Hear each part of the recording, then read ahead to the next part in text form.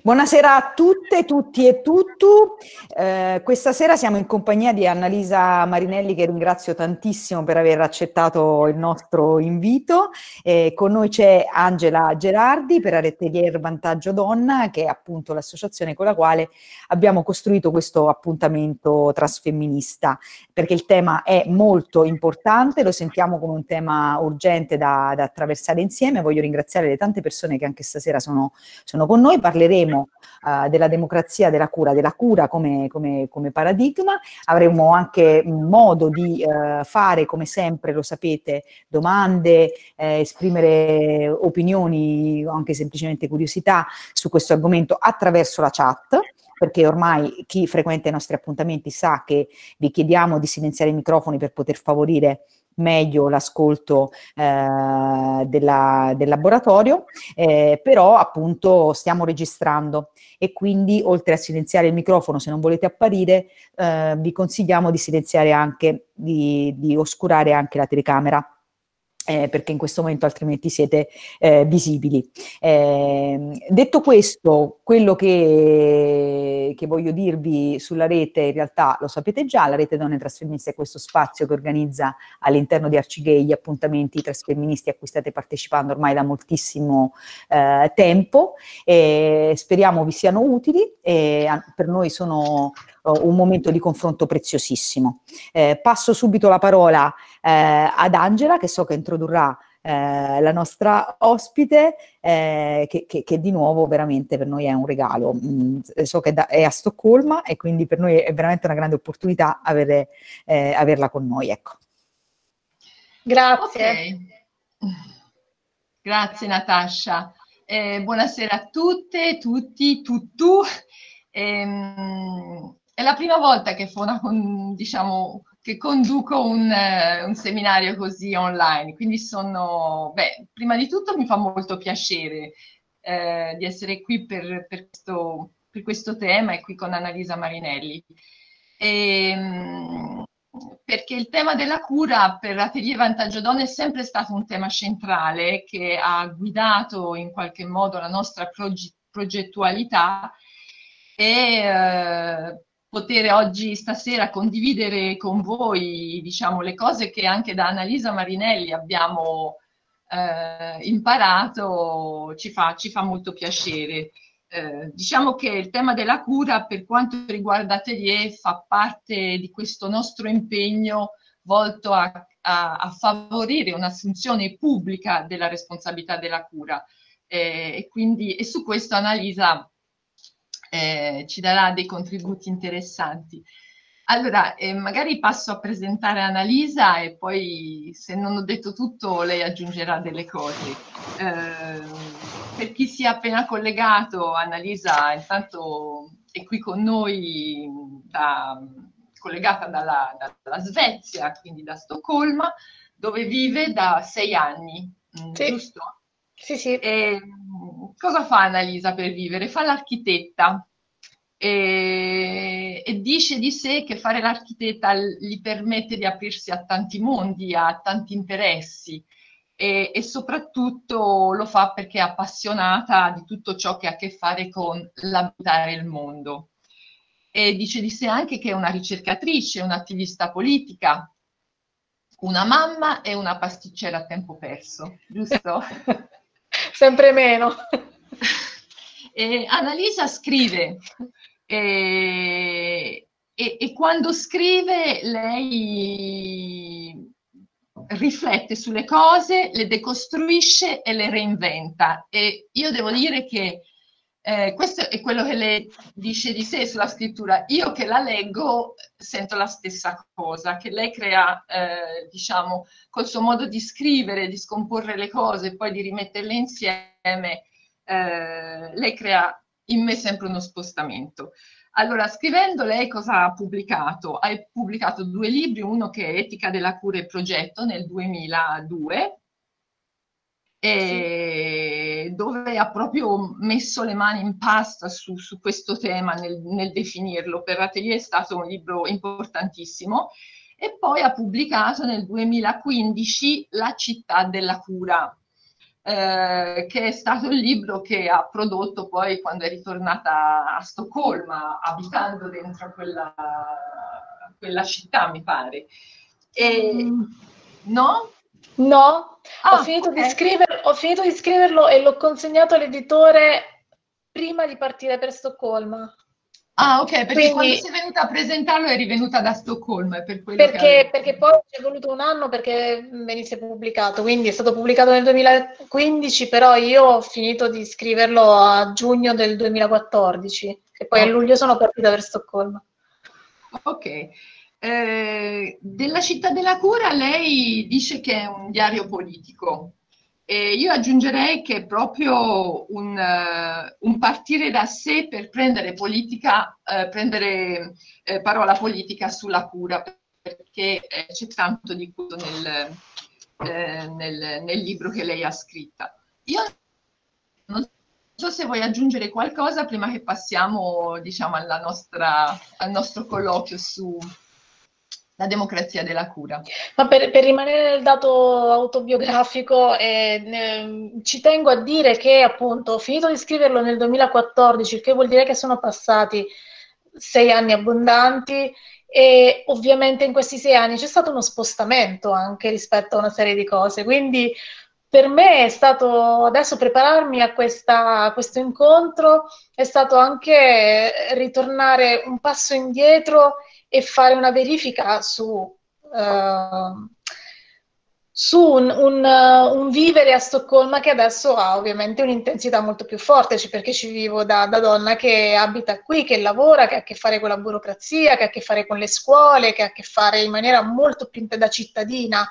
Eh, non ancora svedese, però insomma, eh, che, che, vive quotidianamente qui e quindi insomma c'è stato uno spostamento, quindi è interessante perché io stessa sono un po', sono più instabile, cioè avrò, avrò più, più puntini di sospensione forse stasera, però sarà interessante anche per me quindi. Grazie, innanzitutto no, voglio dire che, voi, che, vi ringrazio tantissimo per questo appuntamento, perché appunto mi offre questa occasione e, e, poi perché rivedo un po' di facce amiche che mi mancate tantissimo. ok, allora che facciamo? Andiamo un po' sul pezzo? Sì, mm? sì allora. Eh, il, il, titolo di questo, di questo incontro è La democrazia della cura e se ci fate caso, democrazia ci catapulta diciamo, dentro una dimensione pubblica, mentre la parola cura ci, ci porta invece in una sfera del privato, dove eh, diciamo, uomini e donne hanno ruoli diversi rispetto a, questo, a questa pratica, a questo, a questo fare. Ehm, che ci dici di questa, di questa divaricazione no? che, che, che, c'è fra queste due parole nello, nello stesso titolo? Beh, che, che, mette subito sul, sul, piatto il guasto originario, e cioè la, la, pretesa di estromettere dalla dimensione pubblica e politica un, un dato di partenza ineliminabile che è quello della necessità di prendersi cura della vulnerabilità. Siamo esseri viventi, dunque mortali, quindi abbiamo bisogno di cura e il fatto di aver estromesso questa, questo presupposto alla vita eh, dalla, dalla, sfera pubblica ovviamente è, è, è come eh, io dico sempre come giocare con, con, un mazzo di carte truccato, no?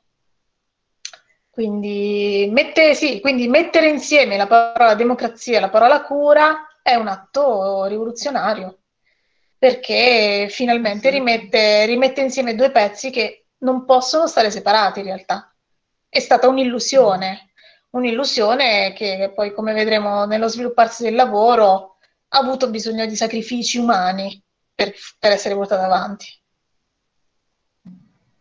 Ascolta, ehm, soffermiamoci sulla parola cura, poi arriveremo anche alla democrazia. Sì. Eh, della, ce, ce, la, ce, puoi definire cosa intendi per cura, eh, qual è lo spazio che occupa, quali sono le attori e le attrici che sono coinvolti, così ci mettiamo anche d'accordo su questa parola prima di procedere. Sì.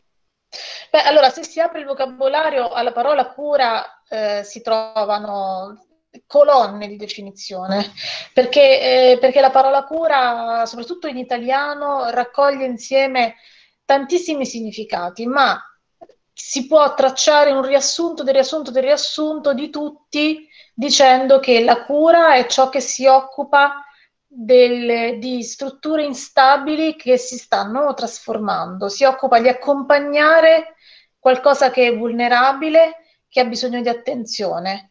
E, e che questa attenzione non è un'attenzione qualsiasi, ma è un'attenzione competente, è un'attenzione esperta, cioè che vuol dire che fa esperienza della pratica e impara facendo, e, ed è un'attenzione che coinvolge sia eh, la mente accesa e vigile, ma anche la sfera emotiva. Quindi è mh, mm, eh, una qualità dell'agire particolare. Eh, quindi fare le cose con cura significa non soltanto farle con, con, zelo, diligenza, intelligenza, esperienza, ma significa anche avere uh, un coinvolgimento emotivo in quello che si sta facendo. Quindi è una forma di, di attività molto particolare. Nella pratica quotidiana è ciò che ci rimette al mondo tutti i giorni, cioè è quello che consente a, ai corpi, alle relazioni, all'ambiente che abbiamo intorno a noi di rigenerarsi per poter continuare a fare quello che viene definito produttivo. Questo. Ok. E, vabbè, l'hai, l'hai, messo proprio al centro del mondo e de, l'hai posto come, come dire, una questione strategica. È una questione strategica e, e, e, quando si parla di cura si fa riferimento, si può fare riferimento a qualcosa che è remunerato, perché si possono comprare servizi di cura, ma anche a qualcosa che non ha nulla a che vedere con il, il riconoscimento economico. Questo non è una roba da poco, solleva un po' il tema della, della, della gratuità della cura, nonostante sia economicamente molto rilevante. Esatto, esatto. E, ehm, c'è questo, questa confusione di due piani tra la gratuità e l'assenza di valore economico, ma che sono mm-hmm. due cose completamente diverse. E, ehm, la cura, dicono le economiste, è un tipo di attività che siccome è eh, così ineliminabile perché ha a che fare con il nostro, con il nostro essere vulnerabili, è eh, quantitativamente prevalente sul pianeta, cioè è il tipo di attività che maggiormente è presente nel numero di ore eh, nelle attività umane, ma le economiste ci tengono a sottolineare che anche quel tipo di attività che è presupposto dell'attività cosiddetta produttiva, cioè senza il lavoro di cura che rigenera, rimette al mondo e non ci sarebbe la possibilità di essere produttivi. Diciamo, questo banalmente se facciamo riferimento alle nostre vite quotidiane, cioè se, se, non, se non, ci prendiamo cura di noi, non mangiamo, non, non ci teniamo in un, in un, ambiente che ci accolga, che ci rigeneri, eccetera, eccetera, non siamo nelle condizioni di poter fare il lavoro cosiddetto produttivo. Quindi è, sembra banale, eppure, eh, eppure i bilanci economici non la contemplano.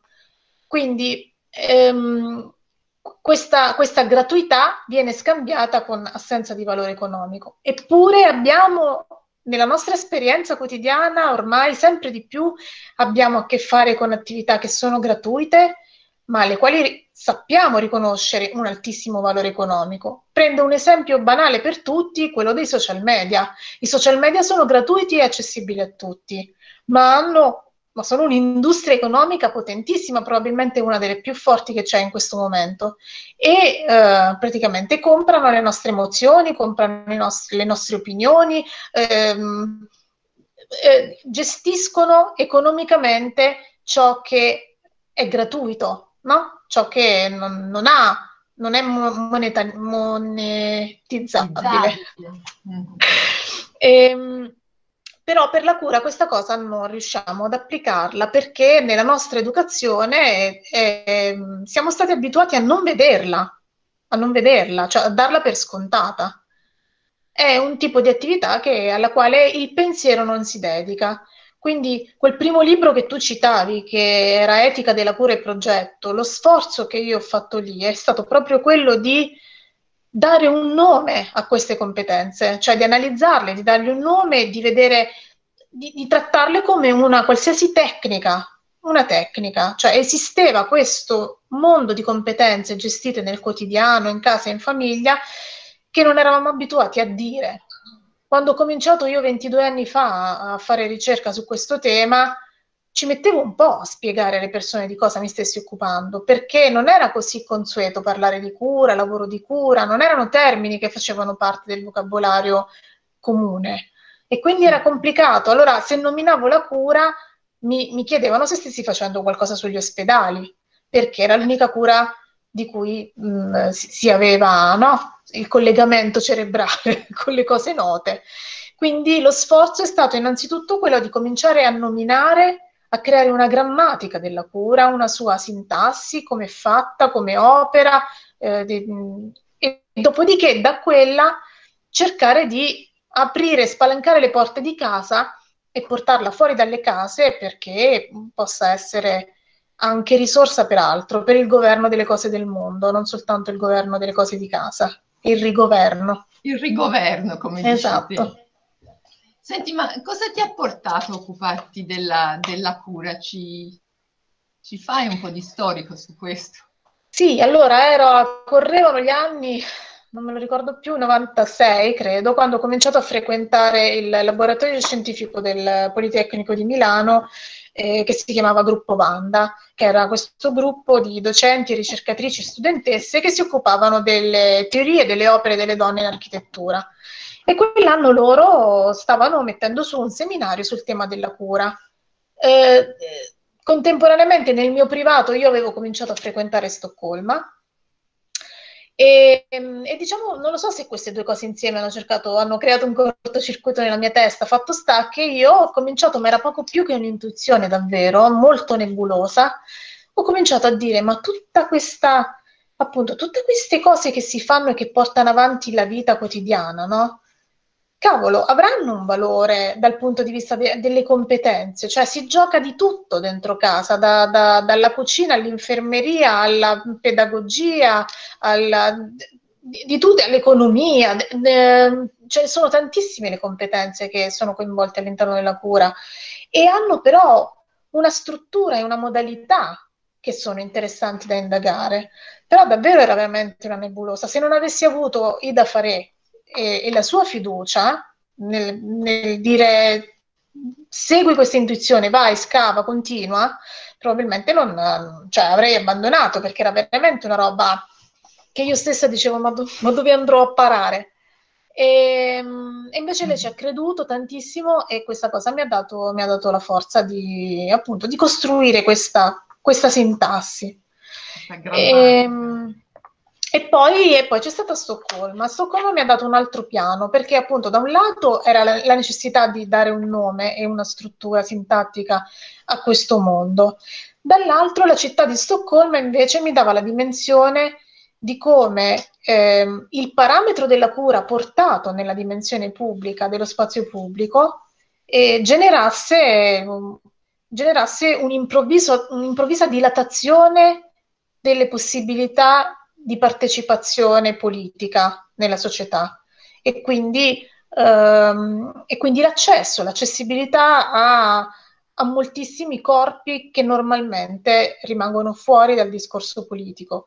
E allora dai bambini agli anziani, alle persone che hanno difficoltà motorie o sensoriali, um, ai caregivers che si fanno, no, le persone che si prendono cura di tutte queste persone nominate subiscono gli stessi tipi di limitazioni delle persone che vengono tagliate fuori. Tipicamente le donne, perché sulle donne comunque grava statisticamente il, il carico di cura in, in, maniera maggioritaria e quindi una grossissima fetta della popolazione non ha accesso alla vita pubblica e collettiva, non può contribuire, eccetera, eccetera. Quindi um, la, la, que- questi due livelli che sono appunto il eh, ragionare sulla cura e sulle sue competenze, su come queste trasformano eh, l'idea di governo delle cose e eh, da- dall'altro lato invece partendo proprio dal, dalla, dalla cura e dalla vulnerabilità come unità di misura per la costruzione dello spazio pubblico, sono questi due piani che io ho continuato a portare avanti in parallelo e che sono definiti in maniera abbastanza specifica in questo ultimo libro che tu hai citato, che è La città della cura. Città della cura. Ascolta, qui ci stiamo avvicinando, come dire, a mettere insieme democrazia e cura, ok? Mm. Però ci, ci, possiamo soffermare un attimino su questa questione. La cura è legata alla retorica del materno, al femminile, al dono, e quando invece sono, diciamo, se si accosta la parola cura al maschile, agli uomini, sembra più una gentile concessione, no? Un, mm. eh, un, una cosa che, che, fanno ma che non, che non, gli appartiene, no? È la minima cosa che fanno. Lui, lui sì, bravo. Come? Ogni minima cosa che fa un uomo dentro casa. Ah, quanto sei bravo, Dio! Quanto è bravo! Ecco, ecco. ecco.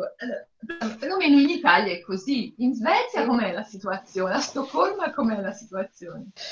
Allora, qui la, la, la, la cosa è un po' un, un, tantino più evoluta, non ci sono tutti questi um, smancerie e miracolamenti nei confronti di un uomo che si occupi di cura, um, è, è più normalizzato, però credo che la cosa derivi dal fatto che hanno una storia più antica intanto di approccio alla questione, ma soprattutto eh, più pragmatica. Mi spiego tutto nasce, si può dire che, che, che tutto nasce da lì, però non, uh, forse, forse, ha delle radici ancora più lontane legate alla loro cultura, però vabbè, diciamo che la struttura della società, per come noi uh, siamo, abbiamo imparato a conoscere la società svedese, nasce come impostazione nel secondo dopoguerra, quando c'era una fortissima crisi economica, quasi la metà della popolazione svedese era immigrata, facevano veramente la fame, e mh, mm, eh, una consulenza veramente illuminante affidata a due sociologi, moglie e marito, i coniugi Midral, ehm, fece sì che ehm, si, si, intuì questo principio, e cioè bisognava assolutamente liberare il potenziale produttivo delle donne. Per poter fare questo bisognava affrontare il tema della doppia presenza delle donne come eh, titolari della cura e come, e come forza produttrice. Quindi era necessario che, eh, che lo Stato, che, che la mano pubblica si facesse carico di risolvere i problemi della cura. Questa è stata l'impostazione insieme socialista e femminista che ha costruito la Svezia per come la conosciamo e che poi è proseguita negli anni eh, con eh, governi che conosciamo meglio, come quello di Olof Palme, però insomma è una lunga tradizione che si basa appunto su un principio molto pragmatico. Dobbiamo risolvere un problema economico e c'è una questione, cioè che le donne hanno una, un doppio ruolo, bisogna alleggerire le spalle delle donne da questo doppio ruolo per poter liberare il loro potenziale economico. Quindi questa consapevolezza molto, molto pratica è, è insita nella, nel, nella loro consapevolezza individuale e collettiva e quindi è più difficile tornare indietro, non è una questione di principio, cioè è proprio una questione banalmente pratica, no? Come, come è tipico del loro approccio in generale. E, e, quindi su questo pezzo devo dire sono, sono, ovviamente più avanti rispetto al piano delle pari opportunità e delle, e, la situazione non è perfetta neanche qui, cioè comunque ci sono spazi di miglioramento, nel senso che anche qui ci si lamenta che gli uomini prendano meno congedo parentale di quanto potrebbero, eh, però è ovvio che insomma eh, eh, rispetto all'Italia eh, la, la, situazione è di molto, di molto più avanzata, diciamo.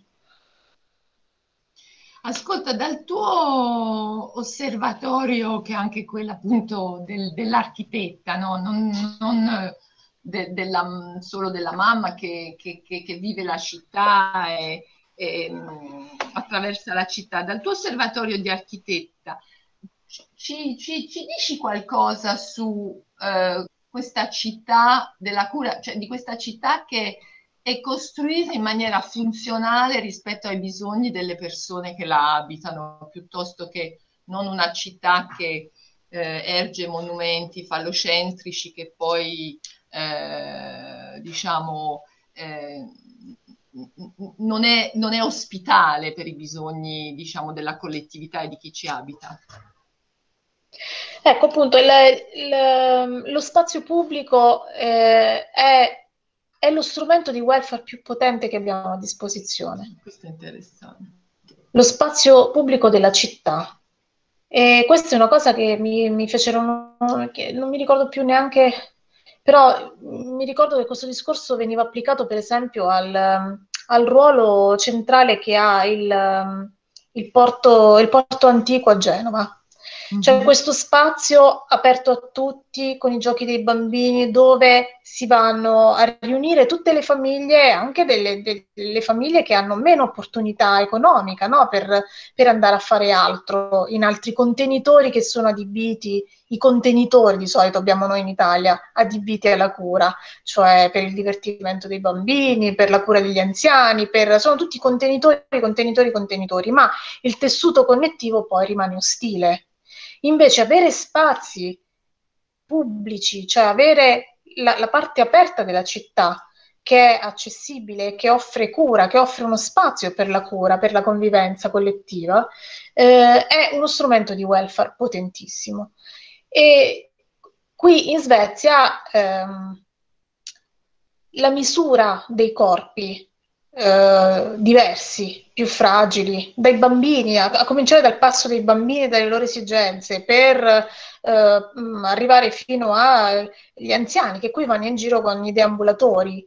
Eh, prendono i mezzi pubblici, vanno in giro per la città, è ovvio che per poter arrivare a fare questo significa che tu hai abbattuto seriamente tutte le barriere architettoniche, dalla soglia del portone, anzi dalla soglia dell'appartamento fino a musei, tutti gli, ospedali, tutte le strutture de, della città, tu puoi, tu puoi andare in giro dotato di rotelle di qualsiasi genere, dal passeggino alla sedia a rotelle, al deambulatore, eh, a questi maledetti monopattini elettrici, qualsiasi cosa sia dotato di rotelle, non ha limitazioni di nessun tipo. Eh, questa, cosa, questa cosa significa, significa appunto allargare spazi di partecipazione democratici. Mm. Quindi, non so se ho risposto alla tua domanda in maniera sì, esaustiva. Sì, sì, sì. sì. Eh... Cioè, uscire praticamente dalla logica dello standard dell'uomo vitruviano, no? E, e invece eh, farlo esplodere in una, un caleidoscopio di, di, mini standard, cioè di, di, che non sono mini per niente, perché poi in realtà se facciamo un conto di proporzione, la popolazione, la, la minima parte della popolazione è quella dell'uomo vitruviano, no? bianco, in forma, capace di stare sulle sue gambe e possibilmente con un'automobile ancora meglio, perché questo è lo standard che costruisce le nostre città, la maggior parte delle nostre città in Italia, che poi è anche paradossale perché sono città storiche che non sarebbero neanche adatte all'uomo automobilista. Eh, non sono nate con quella logica, quindi sono anche snaturanti rispetto al, al tessuto di relazioni che ha messo su la città storica italiana, europea, eh, ma io penso soprattutto quella italiana, dei borghi italiani, quindi anche uno snaturamento della nostra cultura e della nostra socialità. Quel tipo di standard. Ma l'esplosione dello standard sembra, diciamo, ci dà la possibilità di operare una distruzione del, del paradigma patriarcale. Sì, sì, perché poi lo standard sarebbe il neutro, il finto neutro maschile. Il finto neutro eh, maschile No, preso a misura di tutto. Invece la cura ci insegna che i corpi sono tutti diversi e che, e che l'azione va personalizzata. Questo ci insegna la competenza della cura. La cura si occupa delle, si, occupa, si prende cura in maniera personalizzata dei corpi e, e quindi insegna che tu ti devi avvicinare alla vulnerabilità con, uh, con curiosità, con curiosità e, e conoscendola. E quindi la misura deve diventare la vulnerabilità, che poi è, una, è un tipo di passaggio che non è necessario soltanto alla democrazia, di, direi che è indispensabile per il pianeta, cioè il senso del limite e, e la vulnerabilità, cioè se non, se non, prendiamo questo come parametro, eh, diciamo che siamo già in ritardo sul fatto che l'avremmo già dovuto prendere da un po', ecco, come ci dice Greta, la svedese. Sì, come ci dice mm. Greta. Ascolta, ehm, diciamo che la cura è ancora mh, mm, fortemente sessualizzata e ha, abbiamo visto anche in un laboratorio come Rimois che è anche eh, razzializzata, nel senso che è eternamente in capo alle donne con dei carichi differenziati, ma diciamo passa come una catena di responsabilità da donna a donna, donne del nord, del sud, bianche, nere, dell'est, dell'ovest, lo vediamo anche con le lavoratrici della cura, dette così chiamate badanti. Il, il, il, femminismo cerca in qualche modo di smascherare queste linee di, di oppressione, ma secondo te noi siamo ancora, diciamo, all'alba della denuncia o siamo già dentro al cambiamento? Ma eh, io voglio essere ottimista e dire che siamo dentro al cambiamento. Um, la questione è questa, che eh, ecco, in questi 22 anni, come dicevo, siamo partiti dal, dal, non sapere neanche di cosa stessimo parlando quando nominavamo la cura a invece un moltiplicarsi. Io vedo che insomma, il tema della cura ormai è, è sdoganato il fatto che, uh, ci sia una, che sia una competenza, che se ne parli, cioè mi, mi sembra di, di, vederlo molto spesso, questa cosa mi, mi, dà un sacco di gioia ogni volta, ogni volta che lo incontro. Eh, però bisogna anche essere consapevoli del fatto che è una componente questa della cura. Ehm, è una componente importante, ma di una struttura simbolica che ha delle radici molto, molto profonde, che è il simbolico patriarcale. E, e che, e che informa tutto della nostra realtà, persino la forma delle nostre abitazioni. Cioè, noi abitiamo in questo modo, ma le nostre abitazioni sono figlie struttura, della struttura della famiglia patriarcale.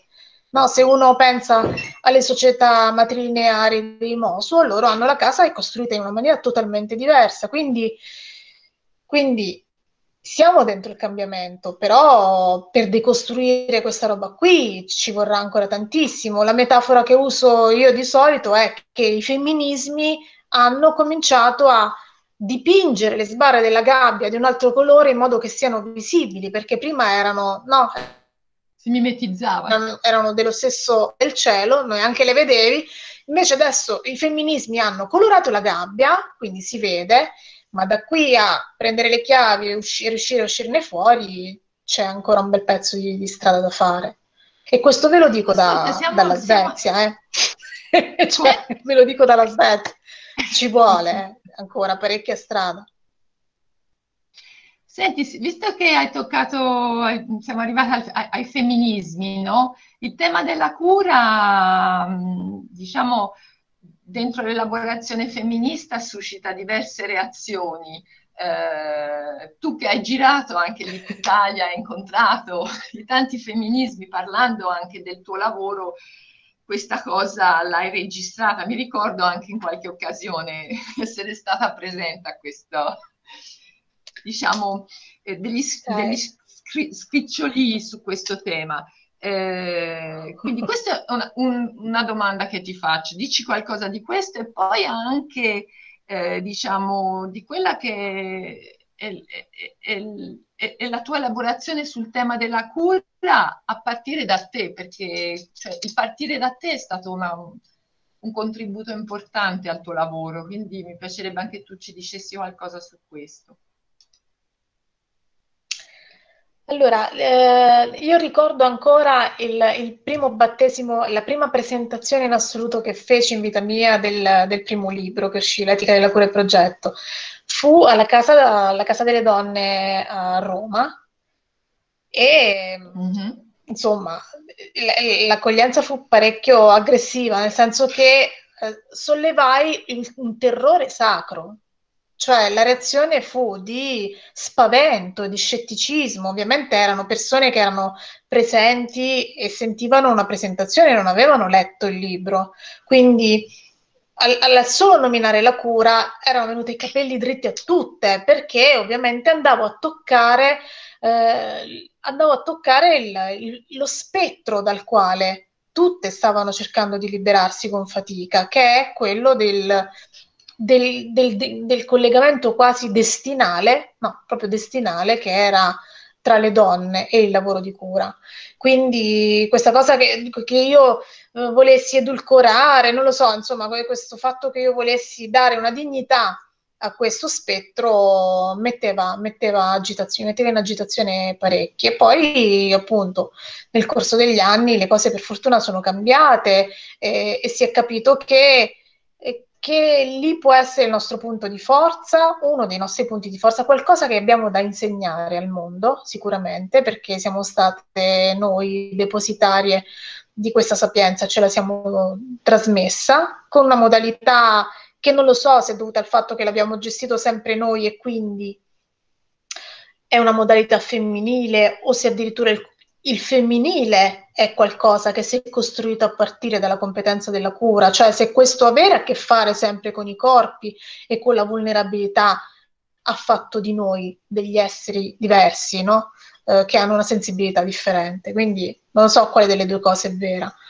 Um, mi dici, mi dici la, mia, la mia esperienza. Eh, la mia esperienza, se, se tu ti riferisci a quello che io ho vissuto come dal punto di vista della cura, fin tanto che sono stata in Italia, cioè fino a sei anni fa, fino ai 44 anni, eh, io ho vissuto in questa maniera dissociata tra, con le ricerche di tipo di stampo femminista e però nel mio privato la vita come una moglie degli anni 50 perché io sono stata una moglie a casa disoccupata con due figli da crescere. Eh, dico sempre che quello che mi perché era quello che erano, sono le condizioni che il nostro paese molto spesso offre a una donna che, faccio il mio caso in particolare, eh, che mh, è sposata, si, le viene il desiderio di avere dei figli, e, mh, che vive lontana dal, dal, dalla propria cerchia familiare, quindi che non ha le strutture di supporto delle nonne, le zie, eccetera, eccetera, e, e che mh, appunto non, non, non, le viene, non, le viene, consentito di, di tenere insieme due pezzi dell'esistenza come agli uomini invece viene dato, cioè la paternità e, e, il lavoro produttivo. A me questa cosa non, è stata concessa.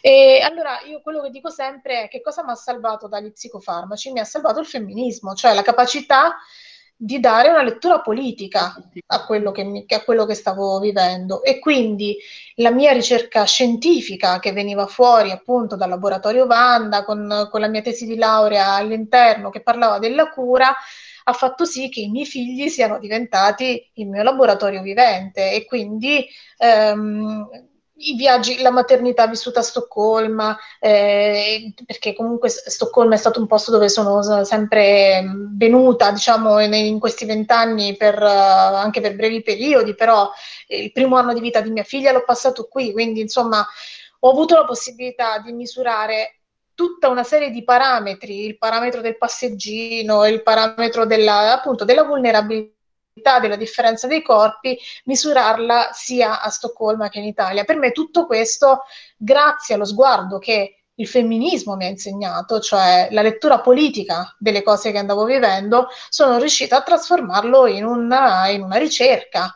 in una ricerca che appunto sono questi libri che, che ho scritto.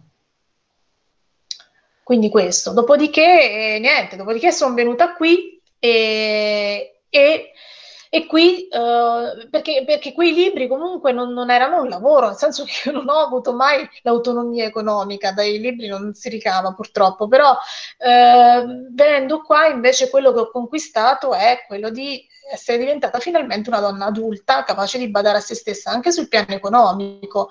E questa cosa adesso, eh, durante, alla fine, quasi fine di questo anno terribile che è stato il 2020, terribile su tutti i piani, nel mio caso anche sul piano personale, mi ha dato anche la possibilità di costruire una capacità di resilienza fortissima senza la quale io, se, se fosse successo, perché nella vita ogni tanto no, offre un po' di ribaltamenti totali, di catastrofi, allora se queste stesse catastrofi fossero successe quando io ero in Italia, nelle condizioni che l'Italia mi offriva, io sarei, eh, cioè avrei sarei rimasta schiacciata sotto, sotto le macerie di quello che, che, è successo. Qui invece questo non avviene.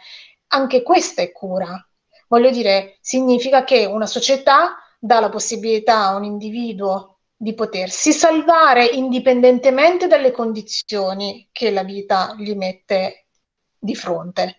E, e questa è una componente pubblica della cura, cioè quando tu hai la possibilità di, eh, di essere autonomo, di essere supportato ogni volta che sei nelle difficoltà perché c'è tutta una società che è costruita in modo tale da farsi carico di questi problemi.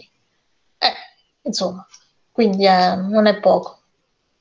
Noi siamo entrate nella, nella democrazia della cura. Esatto. della democrazia della cura fa parte anche la questione di educare la mascolinità alla cura.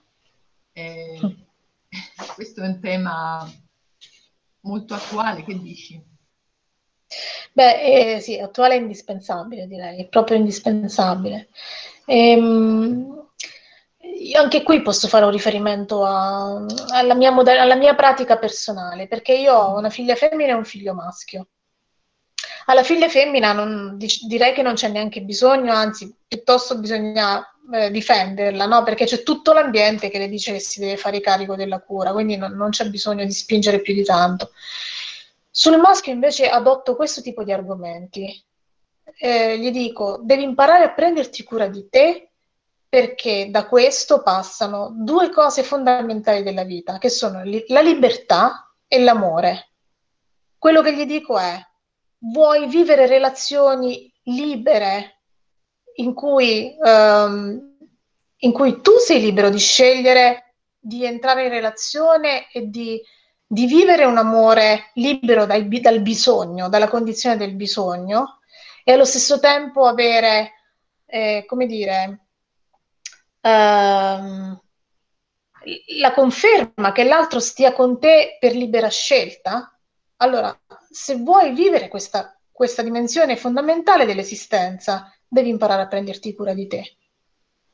Non devi, non, non devi avere dipendenze da questo punto di vista, tu devi essere autonomo, capace di badare a te stesso e dopodiché scegli liberamente e dopodiché hai la possibilità, non esiste l'amore senza la libertà, non, non si può amare se non da creature libere. E quindi io, io, utilizzo questi argomenti, non utilizzo gli argomenti della solidarietà che bisogna, no? Perché mi sembra che siano anche, abbiano poco appeal.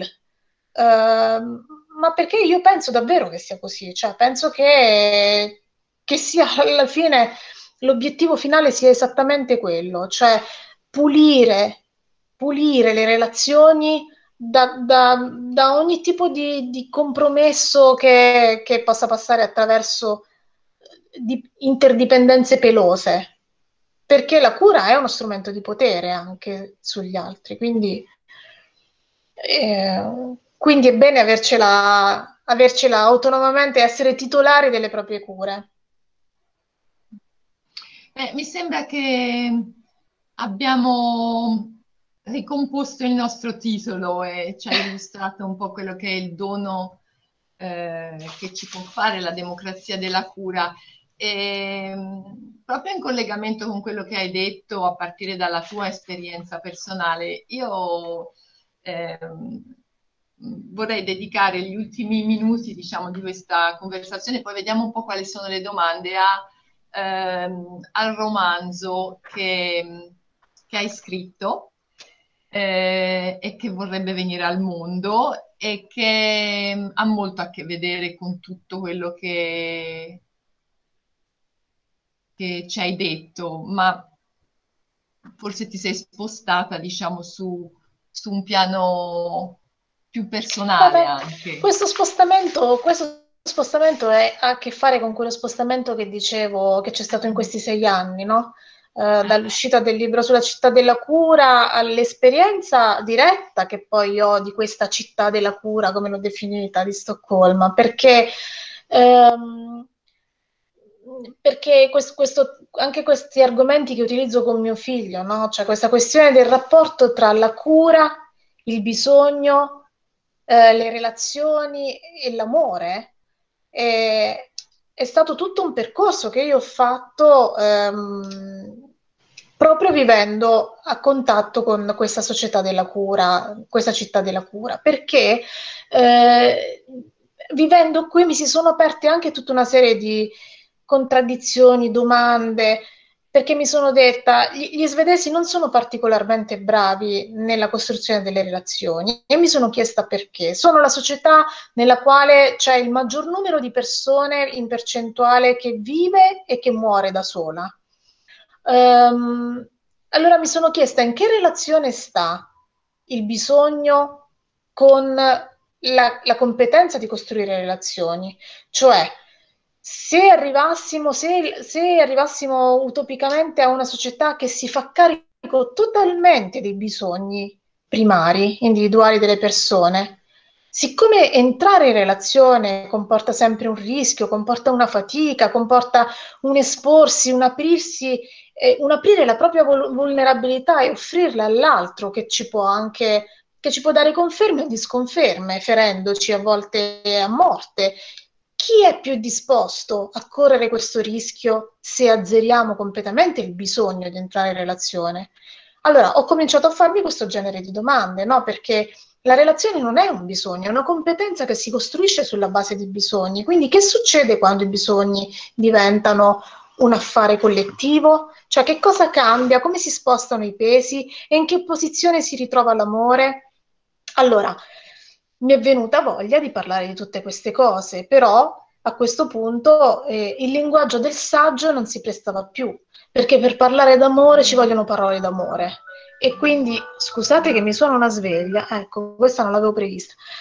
uh, per parlare d'amore ci vogliono parole d'amore e quindi il, linguaggio della saggistica non si prestava più bene e mi sono spostata sulla letteratura e sul romanzo. E, e questo romanzo parla d'amore, parla d'amore però appunto con, uh, con una struttura che, che, risente ancora molto della mia esperienza di saggista, perché è una struttura abbastanza ibrida nella quale ci sono moltissime di queste riflessioni inserite dentro e quindi parla molto della società, parla di come, di come la società pretende di normare l'amore, eh, addirittura nell'illusione di utilizzarlo come motore per la produttività e insomma ci sono una serie di ingredienti dentro e io mi auguro che avremo un'occasione in futuro anche per, per parlare del romanzo. quando Il romanzo uscirà. si intitola Autopsia rom- di una felicità mancata. Mm. Sì, Autopsia di, una felicità mancata uh, verrà pubblicato da Jacobelli Editore e dovrebbe uscire a gennaio con il nuovo anno. Ok, io ti ringrazio oh. intanto per aver messo così a fila le parole, la parola cura, democrazia, anche sul finale la parola amore. Eh, non so se ci sono domande dalla chat, se qualcuno vuole... Natascia, hai guardato? Ci sono un po', di, sì sì, ho tenuto d'occhio la chat, ci sono ovviamente un sacco di, di complimenti e, e, considerazioni positive su quello che hai detto, insomma quindi eh, Ma- Maurizio scrive: In una società come la nostra è molto difficile parlare di cura, non è pronta. Lo, l'opposto di cura è gelida solitudine. Sono riflessioni che fa Maurizio, eh, sempre. Eh, Daniela eh, scrive: Meraviglioso quest'ultimo appunto sulla libertà. Il riferimento che facevi prima lo riprende anche Ambra. Mi piace molto questo appunto tra cura di sé e libertà. E poi Alma scrive: Ogni frase è una citazione stasera. Eh, mi chiedevo se fosse possibile possibile espandere sull'ibartamento della cura il paradosso di tante donne originarie dell'est Europa che si privano, rinunciano alla cura della propria famiglia. Questo mi sembra interessante come tema. Di se stesse, purtroppo spesso, per essere operatrici della cura, nuove schiave, tra, tra parentesi, in Europa, il cui valore è quasi totalmente invisibile nella nostra società per poi ritornare da regine tra molte diciamo virgolette, con un potere economico e sociale molto più ampio nel proprio paese. Diciamo, apriamo questo, questo tema, se vuoi. Dopodiché... Eh, però a quale prezzo, no? Esatto. Esatto. No, io volevo fare una, diciamo, una considerazione perché ovviamente eh, hai fatto, insomma, mi hai sollecitato su, su, su, un, su un, paio di, di, questioni. La prima che, che, trovo molto interessante è il rapporto tra ehm, democrazia e accessibilità. Ho trovato molto interessante perché quando penso ai diritti, io ne penso ai diritti che sono secondo me, come dire, anche il, eh, mi viene da dire il, il fondamento de, di una democrazia che si possa dire tale. Eh, penso che il problema dell'accessibilità legata ai diritti è un problema centrale, cioè se, se i diritti non sono accessibili a tutte, tutti e tutto, eh, di fatto è anche eh, la democrazia che viene messa, messa in crisi. Questi, questa è diciamo, sostanzialmente la prima riflessione che volevo fare. L'altra invece ha a che fare con l'ottica trasfemminista e la prospettiva trasfemminista mm, eh, da cui eh, guardo al tema della cura, con cui eh, diciamo provo ad approcciarmi al tema della cura. E, e mi viene da dire che mh, mm, eh, considerata come l'abbiamo un po' considerata oh, finalmente oggi, l'abbiamo sviscerata bene stasera, è una responsabilità collettiva che però dal mio punto di vista si declina anche in alcune forme di, come dire, eh, di autogestione, passatemi il termine, no? nel senso che ehm, è una dimensione intanto che io considero veramente trasgenere, cioè una, mh, mm, che va oltre proprio la, la, la, eh, il corpo biologico in cui si nasce o, uh, o, anche il genere uh, d'elezione, è proprio una prospettiva che, cioè una dimensione che proprio travalica questo, uh, perché sfida diciamo, l'idea della, del, del, um, del, ruolo e anche della divisione di genere, ma poi eh, in questo diciamo, provo a, a, diciamo, ad attraversare la prospettiva trasfemminista,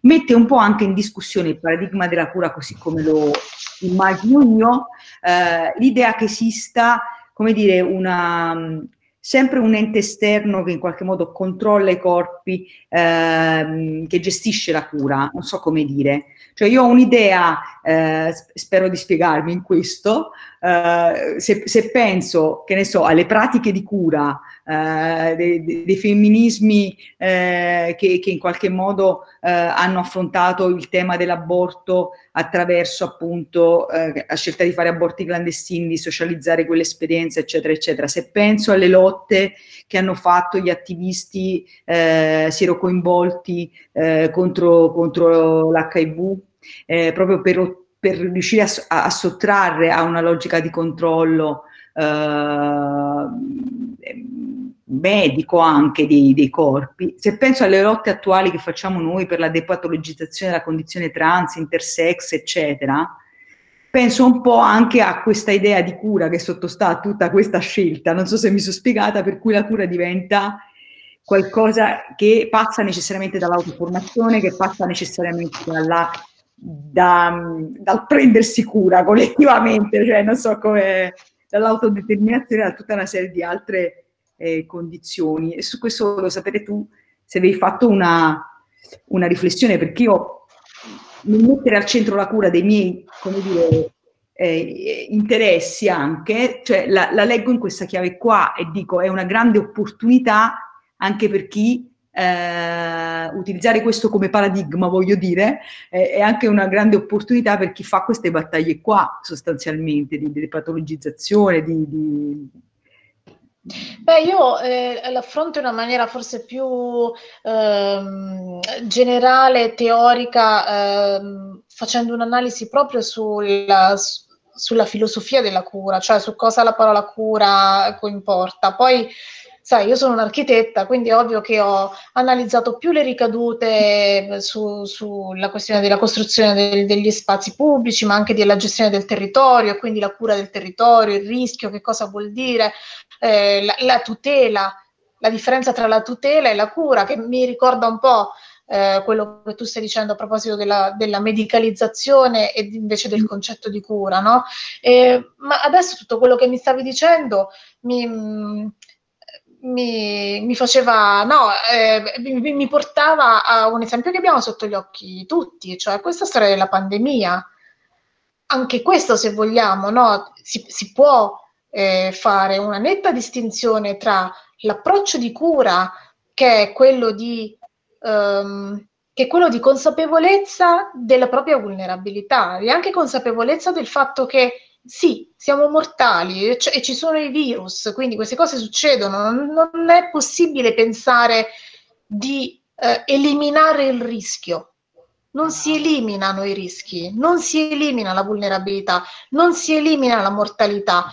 Questo è, la, è quello che la cultura della cura insegna. Altro è invece l'ossessione per la terapia, l'ossessione per la tutela, l'ossessione per il controllo, ok? E, e, che appunto che, hanno, che, che, si sposano appunto con il concetto di medicalizzazione, cioè con una, una struttura utopistica della eliminazione della vulnerabilità. Esatto. E, e quindi diciamo io, io, vedo questi piani, anche se li vedo in maniera mm, teorica, no? abbastanza astratta, però questo concetto diciamo l'ho analizzato a un livello superiore, poi ciascuno di noi può uh, prendere le sue applicazioni nel campo che più gli sta a cuore, di cui ha maggiormente esperienza. E io ovviamente l'ho trasportato nel mio mestiere, che è quello dell'architetta, però, uh, però riconosco questa stessa logica in tutto quello che tu hai citato. Tornando invece alla domanda sulla questione delle badanti e delle, delle, delle schiave che vengono a lavorare, ecco la, eh, l'esperienza che raccontavo del percorso che la, che la società svedese ha fatto per arrivare a socializzare la cura, ehm, è esattamente quello di dire dobbiamo liberare le donne perché le donne facciano parte del tessuto produttivo alla pari degli uomini. Questo passaggio noi non l'abbiamo fatto. Questo passaggio noi non l'abbiamo fatto. Quello che, che, che abbiamo, fa- abbiamo, detto è semplicemente a ah, eh, poverine le donne eh, che, ah, che, devono fare la conciliazione, non riescono a conciliare e quindi prendiamo altre donne più sfigate, così quelle che si sono laureate e che, che ne so, che hanno più possibilità vanno a lavorare e scaricano su altre donne questo problema. Non abbiamo altro che fatto uno scaricabarile, ma la società non si è fatta carico della cura da noi. È rimasta sempre nella dimensione privata, non, se, non è stata fatta nessuna analisi di questo tipo a livello politico, cioè non è stata portata nella polis la cura, è rimasta dentro le case e quindi tu, tutta la questione dei babysitteraggi, delle badanti, eccetera, eccetera, è una questione privata, gestita dai privati. E, cioè, questa è la, è la grossa differenza che non ci fa venire fuori da questo buco e che non fa altro che eh, mm, voglio dire, come i cerchi de, de, nell'acqua quando si butta il sasso, non fa altro che allargare i cerchi ad altri paesi eh, più poveri, che hanno condizioni di, di maggiore disagio e quindi no, eh, que- questa ondata di, di malessere la esportiamo semplicemente. Trovo molto molto interessante. C'è Mariangela eh, che vuole fare una domanda. Se vuole prendere parola anche direttamente a voce può farlo, eh? se preferisce.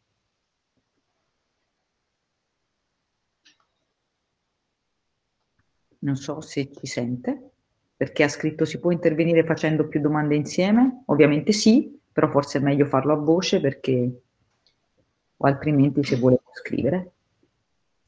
Aprire il microfono e eh, lo devi aprire tu il tuo microfono, sì, perché non cioè non ho io la possibilità di aprire il tuo microfono, credo. Ci Se posso... scorri con il mouse sul fondo dello schermo dovrebbe apparire la barra con con i comandi. Esatto. C'è un, una striscia bianca in fondo allo schermo. Ecco. Ok, esatto. mi sentite?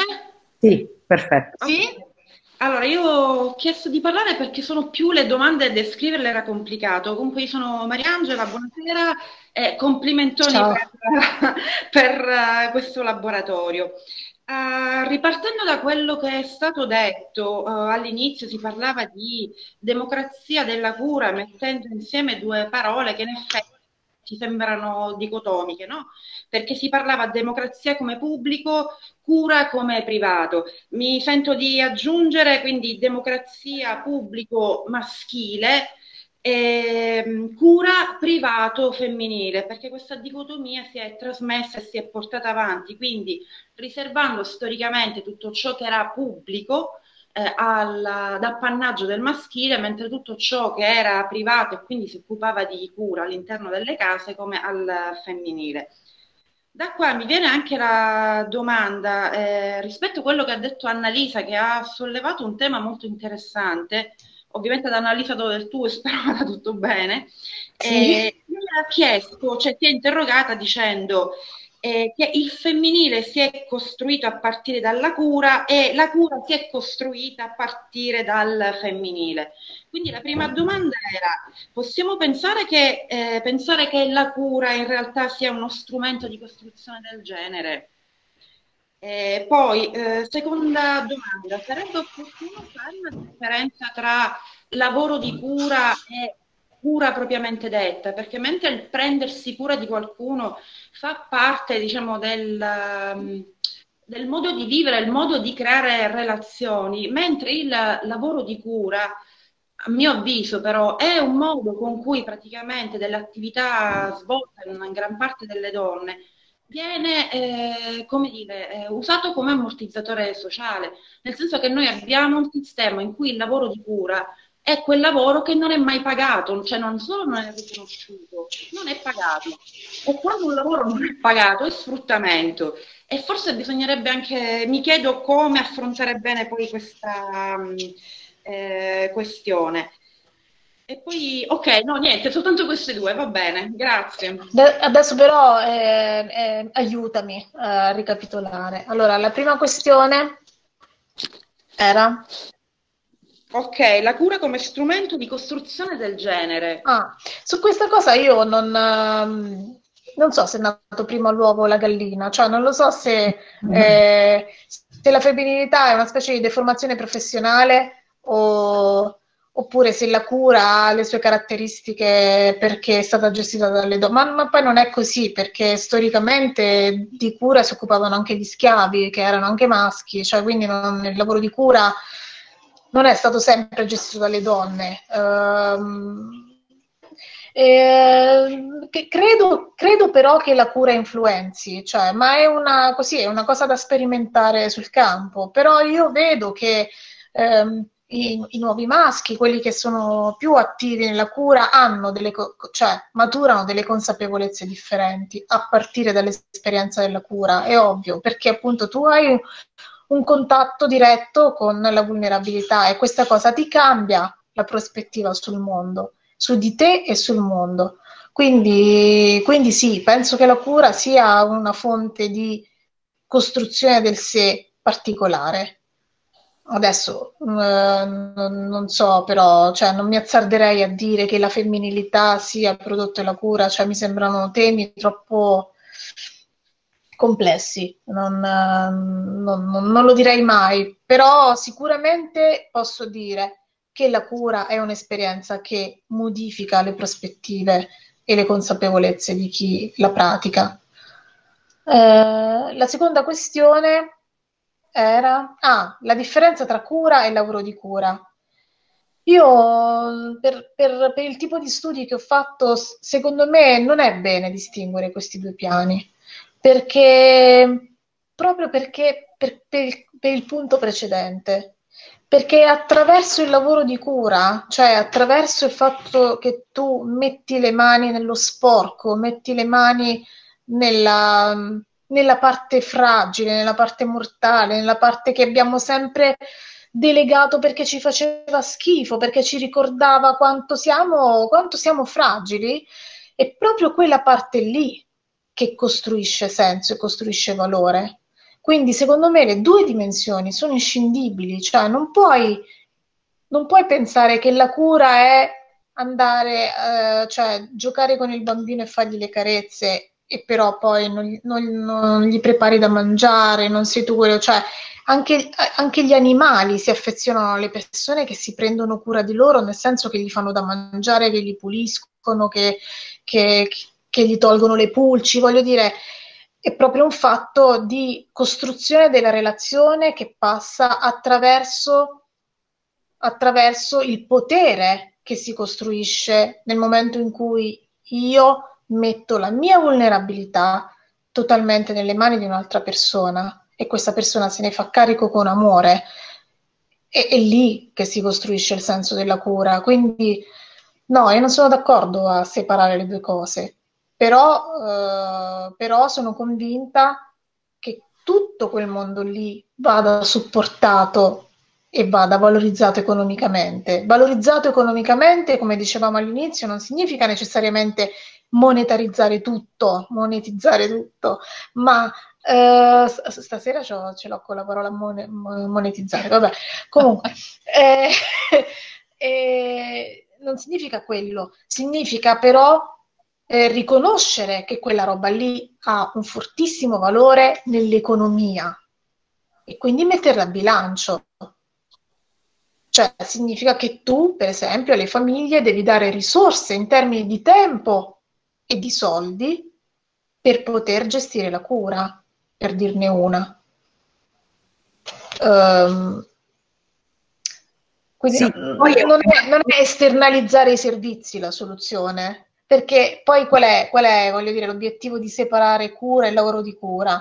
Significa che poi tu che fai? Il lavoro di cura lo esternalizzi e lo rendi economico, nel senso che lo dai a qualcuno al quale paghi uno stipendio così che tu poi puoi semplicemente giocare a carte col nonnino. No, non è così. Cioè, eh, secondo me no, cioè, non sono d'accordo che, che, vadano divise le due voci, si tengono insieme, ma bisogna, bisogna trovare un modo per supportarle e per dargli una visibilità politica ed economica. Leggo ancora qualche osservazione. Alma Alma dice, io oggi riflettevo su come lo Stato ci spinge a spersonalizzare la cura che offre, favorendo la disaffezione a partire dalla scelta dei termini come personale ATA oppure OS, sigle che non trasmettono nulla per ruoli che però sono forse una genitorialità sociale. Maria Pia Lessi invece chiede, ti dice, si può amare solo da persone libere, dici? Libertà dal bisogno prima di tutto, quindi indipendenza economica e centratura sulla cura, ma anche libertà dalle nostre resistenze, nevrosi, paure. Troveremo qualche pista di riflessione nel tuo romanzo su questo? Spoiler. eh, boh, mi auguro di sì. Uh, i, i, lettori scelti a cui ho affidato il manoscritto per capire se, un, se potesse avere un valore mi dicono che, che la cosa interessante eh, de, del romanzo è che io non offro soluzioni spiattellate, però, eh, però stimolo molto l'autosoluzione, nel senso che stimolo percorsi di eh, autointerrogazione, di analisi, quindi insomma, non lo so, spero che aiuti, spero che possa aiutare, però... Mh, eh, però sì, questo nodo, questo nodo è proprio critico secondo me ed è, ed è per me questa cosa del romanzo è frutto di una radicalizzazione del discorso della cura in una maniera veramente estrema, cioè arrivare a proprio al nodo quello più doloroso. Che cos'è che tiene insieme i bisogni e i legami di relazione? Uh, cioè, è una a roba... Me, sembra un temone, nel senso che mi ricorda quello che è emerso dal laboratorio di autocoscienza di ieri quando abbiamo detto che, che per direzioni prenderebbe i nostri desideri se ci affrancassimo e, si, e ci smarcassimo dai bisogni, no? Cioè che esatto. pieghe prenderebbero le nostre relazioni, che pieghe non conformi, mi viene da dire, non conformabili prenderebbero le nostre relazioni se non fosse esatto. bisogno a spingere sull'acceleratore eh, di certi processi e mi viene da dire se anche una certa solitudine eh, attribuita anche, come dire, forzatamente, forzosamente, anche per esempio ad un'età, no? E questa è una forma di ageismo, secondo me, lo voglio dire proprio per come la penso, cioè immaginare che le persone di una certa età hanno un destino di solitudine che necessariamente è un destino no, di dolore, è, è, un po', è un po', diciamo, secondo me, lo stesso, lo stesso discorso, cioè esiste un, una possibilità cioè esiste una possibilità di non relazione, non so come dire, no, non necessariamente, eh, cioè, affrancati dal bisogno è possibile che sia anche un desiderio, come dire, la non relazione e la solitudine, insomma. E noi secondo me su questo, eh, riflettendo sulla, sulla, sulla cura, eh, non come obbligo, ma anche come scelta, eh, come spazio di libertà in cui sperimenti eh, eh, altro di te, non so come dire, come occasione anche. Uh-huh. In questo senso usciamo fuori da questo tipo di retorica, no? Samantha scrive: La vulnerabilità è stato un grande rimosso della storia, che è fatta dalle storie delle tante donne che hanno rigovernato il mondo, e rimetterla al centro ci obbliga ad un cambio di prospettiva, a riscrivere la storia a partire dalle nostre storie di donne. Eppure in un angolo della mia mente, pur percependone il valore rivoluzionario, ho sempre paura che possa essere l'ennesima trappola per farci scrivere una storia minore, ricacciarci e spingerci sempre nel privato. Anche questa è una bella... Beh, però, però la crisi climatica è talmente, cioè voglio dire, è proprio protagonista invece il tema della vulnerabilità eh, ce l'abbiamo spiattellata in faccia, ce l'abbiamo proprio sulle spalle, o ce ne facciamo carico immediatamente, o se no siamo fritti, cioè siamo proprio fritti, non andiamo da nessuna parte. Altro che pandemia. La pandemia è una specie di, di palestra rispetto a, a quello che ci aspetta da affrontare riguardo alla crisi climatica. Quindi, diavolo, cioè, altro che storia minore, è l'argomento protagonista in questo momento e, e, noi dobbiamo battagliare con le unghie e con i denti perché, perché tutti e tutte se ne facciano carico. Perché è proprio il tema centrale. Voglio tornare un attimo sull'ageismo, ma giusto una chicca, perché eh, la protagonista del romanzo è una donna di, insomma, una, una quarantenne che si innamora di un ragazzo molto più giovane c'è quest- questa, storia del, questa storia dell'età e dei confini tra l'età e di come si vivono le relazioni nelle differenti stagioni della vita è uno dei temi centrali del romanzo, proprio perché va a mettere, secondo me, le dita in queste, in queste questioni e quindi mi serviva anche come grimaldello per, per far venire fuori le contraddizioni della nostra società e di come, appunto, di come vengono normate le relazioni d'amore. Molto interessante. Vabbè, lo leggeremo questo libro adesso, ci è venuta una gran curiosità e magari... Io non vedo l'ora! Ti inviteremo a presentarlo più avanti, tanto Eh, magari, come, volentieri, pandemia permettendo. Esatto. Ma mi sembra di aver letto quasi tutto. Se la cura fosse inserita nelle attività riconosciute, pensate a quanto sarebbe più alto il PIL. Eh, eh, assolutamente. Eh, assolutamente. È un dato di fatto, mi sembra. Eh, incontrovertibile. Non so se mi sono persa qualcosa. E, ehm, eh, No, direi, ah sì, forse adesso è arrivata in questo momento. Le professioniste della cura chiamate badanti sono sfruttate nel nostro paese e nel proprio dalla famiglia di origine, che aumenta le proprie richieste, l'intervento chirurgico del padre da pagare, il matrimonio della figlia, la macchina del figlio, gli studi eh, del nipote e così trovano si trovano imprigionate straniere due volte, senza patria. Questa è la riflessione che fa Elga. Eh beh, ma è un dolore enorme, un dolore enorme che è generato da una non presa in carico eh, della cura a livello politico. Continua a essere un rimosso e come tutti i rimossi si butta immondizia sotto al tappeto e poi c'è qualcuno che se ne occupa e questo qualcuno di solito è quello che, che ha meno opportunità di difendersi. Eh sì, che nel gradino, che nel, che nel gradino più basso della, della scala sociale, purtroppo, eh, si tratta di questo, no? Eh, la, la, la, la, cura ci, ci, mette di fronte anche a, diciamo, come dire, a, a, al fatto che questa è una società profondamente classista, che anche le donne eh, possono incarnare un, un, privilegio, agirlo rispetto ad altre donne, è certo. difficile, è complessa la, la questione eh, della certo. la cura ci interroga. Prima di tutto però Natascia è sessista, eh dopo eh, ci sono le altre. Eh sì, sono certo. assolutamente d'accordo, sono assolutamente d'accordo. E sono professioniste e professionisti della cura, anche lei gli educatori e educatrici, sì, è vero, professionali, una certo. professione sempre poco riconosciuta, questo è anche molto vero. Certo sì, perché appunto è un concetto che può essere assolutamente esteso. Eh... Beh, ma, tu, ma, tutto quello che ha a che fare con la cura ha subito il marchio infamante del, proprio perché, perché storicamente, ma, ma, storicamente proprio risalendo ai tempi dei, dei greci, cioè eh, questa suddivisione tra lavoro, tra opera e lavoro, eh, cioè tra l'opera che era quella no, degna di nota, quella appunto che nobilitava l'uomo e, il lavoro invece legato ai bisogni del corpo, erano, hanno subito questa gerarchizzazione eh, infamante per tutto quello che aveva a che fare appunto con la rigenerazione dei corpi e quindi la cura.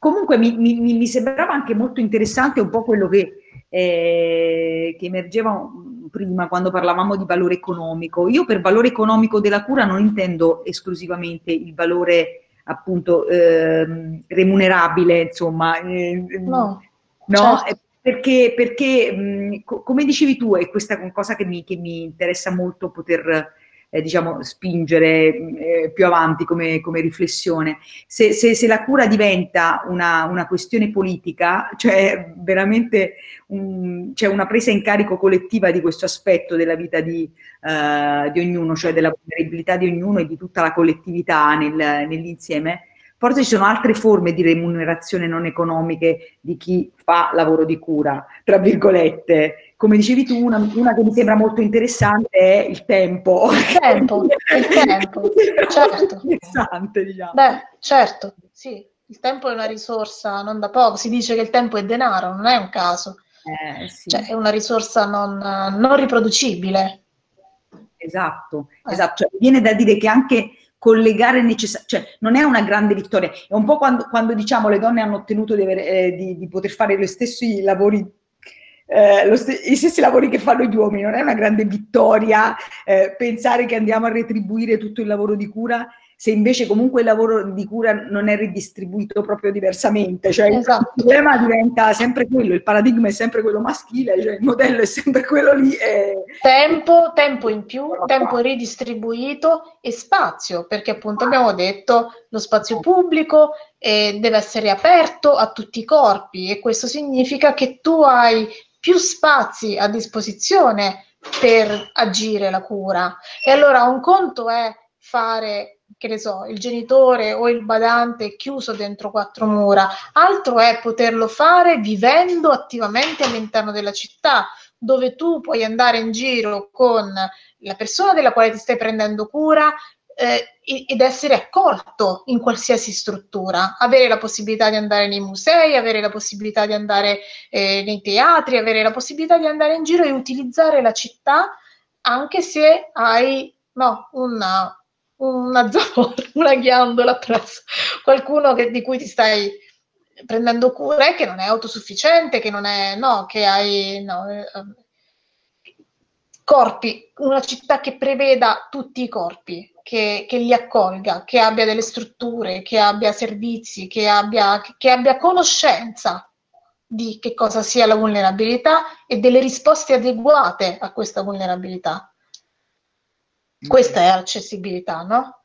Significa passare dal concetto di di handicap al concetto di ostacolo, cioè il problema non è nel corpo, il problema è nella mancata risposta dell'ambiente alle esigenze del corpo. E questo, questo non ha a che fare soltanto con le disabilità, ha a che fare anche con le età diverse, ha a che fare anche con le culture diverse a volte, no? con le sensibilità diverse. Questo. Quindi lavorare nella direzione di rimuovere gli ostacoli, insomma. Esatto. Piuttosto che esatto. Eh... Che poi lo dice anche la nostra Costituzione. Assolutamente. Eh, Alma, sì, sono d'accordo che non... Sì, eh, leggo solo Alma e poi ti do la parola a Albalita che mi sembra anche il caso che... eh, perché... Eh, Alma dice non escludiamo la scelta nel discorso operatrici cura badanti, la scelta ovviamente l'autodeterminazione delle persone che vogliono fare questo lavoro, certo. eh, non c'è dubbio, rischiamo una vittimizzazione anche dove non c'è, no ma sono assolutamente, cioè, questo lo diamo per scontato ovviamente al di là dei percorsi, però molto spesso parliamo di chi, eh, chi eh, trova costretto proprio una scelta. Letizia dice alcuni attivisti definiscono le persone con disabilità persone disabilitate, è fantastico, proprio per descrivere in relazione al contesto umano-architettonico. Mi sembra molto intelligente questa cosa che, che, ci ricorda Letizia. Alcuni attivisti definiscono le persone con disabilità persone disabilitate. Certo. Cioè, la, la, cui abilità, come dire, è sottratta dalla società, dall'ambiente. Sono, sono ostacolati. Esatto, esatto. Eh, ok, di più dovrebbe essere completamente rivoluzionato. Mi sembra molto interessante questo cambio di prospettiva che suggerisce anche un'altra Letizia e anche il tempo a disposizione dovrebbe essere un elemento di ricchezza di un paese. Eh, Giulia dice una soluzione politica anche a livello locale sono per esempio i tavoli istituzionali, inter, interistituzionali, credo di aver capito. Ci sono altri strumenti di dialogo con la governance per creare una città personalizzata? Ah, io non ne ho idea. Ci sono altri strumenti di dialogo per con la governance per creare una città personalizzata, a parte i tavoli interistituzionali? Io non, non, non so. Non lo so, non so, gli esperimenti ne sono stati fatti tantissimi. A proposito, per esempio, dello strumento del tempo, le donne in Italia si sono inventate la pianificazione degli orari della città, però anche quelle cose lì, questi, noi siamo produttori di grandi sperimentazioni, di grandi intuizioni che poi finiscono nei cassetti, non si capisce che, fi, che fine facciano, bilanci di genere, eh, piani esatto. regolatori degli orari, cioè banca, del tempo, di banca del tempo, tutta questa bella strumentazione. Esatto. Grandi entusiasmi che poi finiscono nel niente, non riescono a diventare strutturali queste cose. Buon, benissimo. Alba. Sì, infatti, guarda, mi collego subito a questa considerazione di Annalisa. Ciao Annalisa. Ciao Annalisa.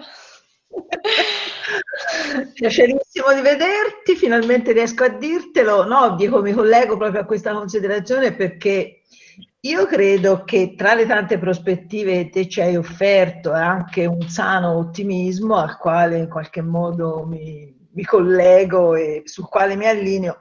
Però io sento anche il bisogno di dire un'altra cosa, cioè che è necessario su questo tema, sulla grandezza di questo tema, anche perché è un tema davvero enorme che segna fortemente le nostre vite, aprire un grande conflitto, un altrettanto grande conflitto.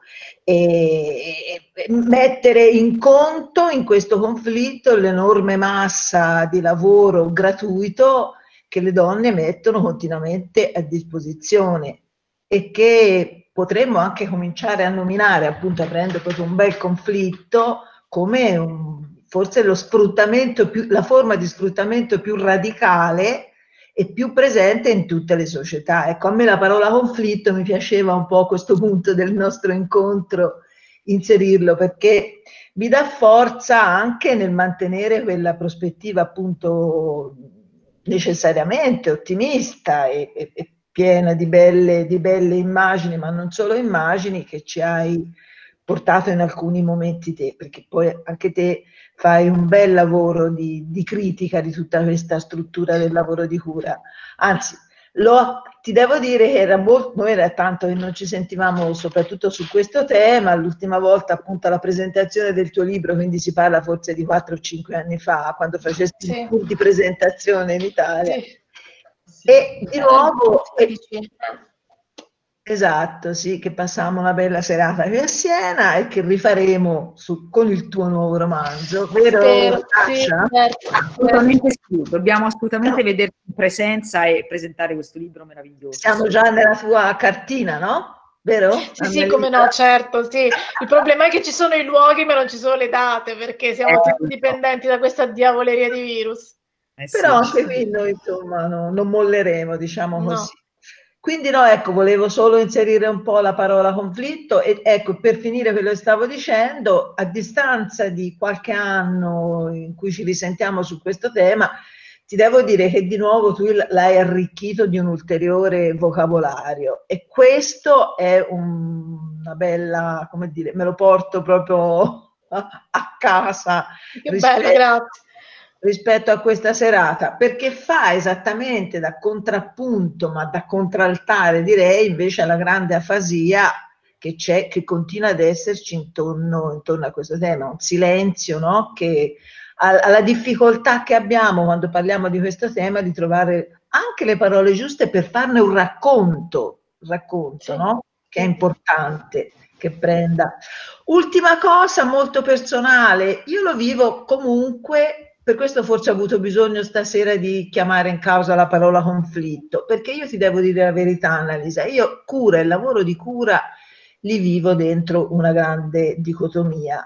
C'è una parte di me che mh, mm, la sente nel cuore, sente nel cuore ma anche nel corpo la fatica di questo lavoro, di questo impegno, la sua innominabilità. Io mi trovo perché appunto ho difficoltà probabilmente a, a fare i conti con la vulnerabilità, ma anche poi con la caducità della vita, con la malattia, quindi con la morte, con tutto quello, ora qui si aprirebbe un filosofeggiare, non so se a questo punto è l'ora giusta. Quindi questa è una parte di me, il mio cuore. La mia mente, molto coinvolta dal tuo lavoro da sempre, da quando l'ho scoperto, eh, però si apre a questa, nuova, a questa nuova prospettiva, quindi alla cura come valore politico, come nuovo paradigma, ma soprattutto come seme per rifondare appunto il rapporto, le, le, relazioni, le relazioni soprattutto tra il maschile e il femminile, no? Per mm. rifondarle, e qui si ritorna alla questione del rapporto tra cura e democrazia. Mi fermo qui, ecco, però ti volevo un po' dire alcune riflessioni che avevo fatto. Io, io non lo so, eh, eh, anche io vivo in maniera conflittuale la cura e ho vissuto in maniera conflittuale la maternità, quindi ce l'ho tutte, cioè non, non sono assolutamente una eh, che ha vissuto la cura mm, come un fatto naturale, che mi veniva spontaneo, proprio per niente. Eh, tant'è vero che appunto piuttosto ci ho scritto dei libri perché, perché non era un fatto naturale, questo era assodato e quindi, e quindi toccava analizzarlo. Eh, però, però adesso mentre parlavi mi è ritornato in mente eh, un video che ho visto di recente di Paola Borboni che diceva che si sentiva una gran donna, si sentiva di avere potere perché poteva lavare i piatti e contemporaneamente entrare in un consesso anche vestita con uno straccio addosso e mettere a posto tutti i presenti semplicemente parlando e distruggendoli. Questa, questo senso di che è la cosa che dicevo prima riguardo quello che dico a mio figlio, no? Questo senso di eh, libertà che ti dà il saper, il saper prenderti cura di te e dei tuoi bisogni primari, è una roba potente, è una roba potente. Cioè sapere mm. che tu non devi avere paura, non devi avere paura mm, per, perché te la sai cavare da sola, ecco, cioè sai, sai, rispondere alle tue esigenze, alle tue e di quelle delle persone che ti sono nelle immediate vicinanze, sai farti carico. Ecco, questa roba qui è una roba che rafforza, è una roba che dà potere. E quindi è faticosa, è, la vorresti delegare volentieri, però sapere di saperlo fare fa la differenza. dà una sicurezza in sé e un potere interiore che, che gli uomini, molti uomini non hanno tanto da perdere il senno e ammazzare la persona da cui sono dipendenti da questo punto di vista. È appunto un depoten- cioè è un, veramente un'impotenza fortissima per gli uomini questa, questa assenza di capacità di essere titolari delle proprie cure. Quindi insomma è, è una, ro- una roba sulla quale dobbiamo riflettere io e te in privato. Sì, sì, sì. Lo faremo, lo faremo presto. Beh, che dire, Io abbiamo... An- volevo Angela. dire una cosa in conclusione, perché tempo fa mi sono annotata questa frase su un biglietto, non, non so da dove l'ho presa, dove non è mia, eh, però è, è- è sempre qui sulla mia scrivania e ce l'ho su questa cartolina e dice la cura libera la democrazia dal patriarcato.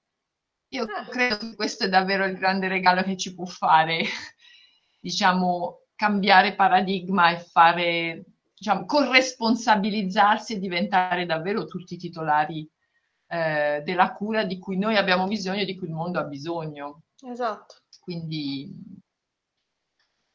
avanti tutta, c'è una rivoluzione da fare. E con questa conclusione io dirò qualcosa di banale e scontato che mi avete sicuramente sentito dire, abbiamo volato altissimo, altissimo anche stasera, abbiamo volato altissimo anche stasera. Annalisa, tu pensavi di no, invece ti tocca pure a No. te. Cioè, abbiamo volato altissimissimo. No, davvero voglio ringraziare Atelier Vantaggio Donna nelle persone di Albalita Sampieri e Angela Gerardi per aver caldeggiato fortemente la tua presenza qui. Io, io sinceramente non avevo dubbi che questo sarebbe stato un laboratorio eh, molto interessante, ma soprattutto molto urgente per noi della rete Donne Trasfemminista mm, e lo vedo dai feedback che ci stanno arrivando adesso, cioè c'era proprio bisogno di parlare di cura perché non, non l'avevamo mai fatto, soprattutto in questa ottica e con questa proprio anche con questo respiro ampio, lo, lo voglio dire molto, molto sinceramente. Quindi sono molto grata, Annalisa, davvero. Torna a trovarci, ti assorbiremo, assorbiremo da te altre volte. E, niente, dei consigli di, di queste due fantastiche donne, Albalisa e Angelina, io mi devo sempre fidare. Questo, Ah, sì, questo sì, su questo sottoscrivo anch'io. questo ormai l'ho capito. E Annalisa, davvero mh, per la disponibilità e il tempo che ci hai dedicato, perché deve essere un lavoro. Maurizio mi dice torna in Italia. Il problema è che cioè, faccio la fame, l'ho appena finito di dire. Io qui, io qui ho sopravvissuto a robe pesanti, quindi no, sono, ho una gratitudine estrema per la Svezia. Non, non credo che, non credo che potrei abbandonare questa cosa. Sì. Però è bello, però è bello sentire il vostro affetto, è una cosa meravigliosa, meravigliosa. E io sem- dico sempre che il patrimonio più grande è questo della rete di relazioni. Il mio patrimonio più grande, quello che mi salva la vita, sempre. E fatemi dire una cosa scontata, noi donne lo sappiamo bene che nella pratica delle relazioni c'è gran parte della nostra no, eh, attività politica, eh, nel modo in cui insomma, mettiamo i nostri corpi nello spazio pubblico e politico, però ci sono anche degli uomini molto fantastici che ci seguono, come Maurizio, nei nostri laboratori. E quindi io lo voglio ringraziare a nome di tutti, eh, davvero, per, per tutti che ci vengono a trovare insomma, in, queste, in questo spazio che eh, insomma, per noi è, è molto importante. Un sacco di complimenti per te, abbracci virtuali perché sei eh, lontana, più lontana di quanto possiamo esserle tu, esserlo tutte e tutti purtroppo. tutto Un abbraccione. e davvero ci speriamo di rivederci anche solo così eh, molto presto. Volentieri. Ringrazio, ringrazio ancora. E alla prossima, ci vediamo eh, martedì 5 novembre per chi c'è con Lorenzo Bernini, il sessuale politico. Eh, anche questo è un laboratorio da non perdere. Grazie mille. Ciao, grazie. Ciao, Lisa, grazie. Ciao, Ciao.